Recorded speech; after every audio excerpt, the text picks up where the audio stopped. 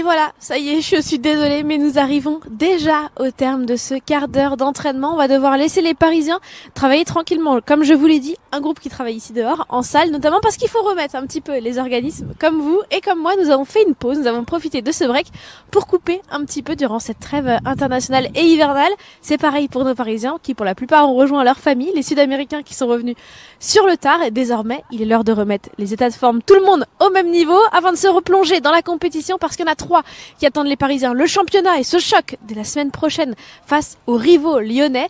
Mais avant ça, et avant même la Ligue des Champions, et là ça nous projette jusqu'en février et au printemps, il y aura donc ce match dès demain, le déplacement des Parisiens dans le Morbihan. La Bretagne est plus précisément du côté de Vannes, euh, club de National 2 pour les 16e de finale de la Coupe de France. On rappelle, petit point médical, hein, on l'a dit, Neymar Junior qui poursuit son programme de reprise. Quatre cas connus de Covid dans les rangs parisiens.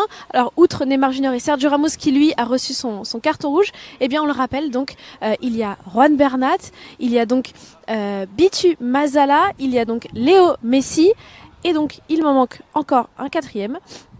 Euh, je réfléchis, un quatrième. Hop, hop, hop. Et oui, c'est Sergio Rico. Mais les gardiens n'étant pas dehors euh, et travaillant en salle, c'est vrai que je n'avais pas.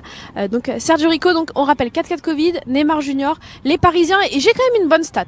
J'ai une bonne stat parce que je vous en avais parlé en fin d'année quand on avait fini 2021 face à Lorient. Eh bien, je vous l'avais dit, jamais le Paris Saint-Germain sur les dernières années ne s'était incliné pour terminer sa, sa saison. Eh bien, sachez que sur les 19 dernières années, le Paris Saint-Germain a réussi à bien commencer son année civile sans perdre son match. C'est plutôt de bon augure avant de se déplacer en Bretagne. Ça y est, je vois que les Parisiens euh, commencent à, à commencer à faire euh, leurs petits échauffements tactiques. Les médias vont devoir tourner les caméras. Nous, on va devoir vous laisser.